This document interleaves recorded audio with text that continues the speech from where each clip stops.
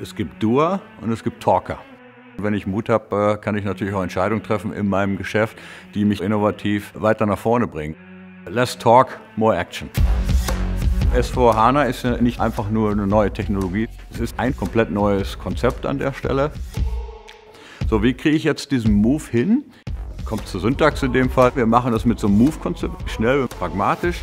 Wir übernehmen das ganze Thema Betrieb, sodass du entweder alleine oder mit unserer Hilfe dann auch innovativ nach vorne gehen kannst.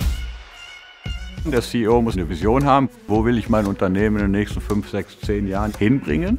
Dann muss er sagen, okay, das ist die Story meines Films. Na, wie kriege ich diese Story technologisch verpackt? Wir können euch helfen, aus diesem Wust von Technologien eine entsprechende Strategie zu bauen und das dann auch realitätsnah zu verfolgen, also dann auch Erfolge rauszubekommen.